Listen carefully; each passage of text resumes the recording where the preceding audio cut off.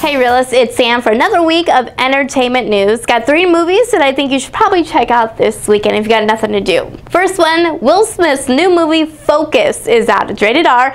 It's got drama, it's got romance, comedy, and of course crime. He plays a con man who sent being conned. Focus is what it's called. It's rated R. Make sure you check it out. A thriller rated PG-13, The Lazarus Effect. Now, it's kind of that premise where they bring people back from the dead and it's not a good thing. So, uh, The Lazarus Lazarus Effect, again, rated R out this weekend. And finally, Maps to the Stars. Twilight fans, Robert Pattinson is back. Julianne Moore in her second movie this year. This is about a tour of the heart of Hollywood. The family chase celebrities around and then they find out secrets about each other. It's of a weird movie. Uh, it's a drama. It's rated R. Check it out. And of course, all the movie trailers can be found at real929.com. So see you next week as we'll have another entertainment news right here on Real 929.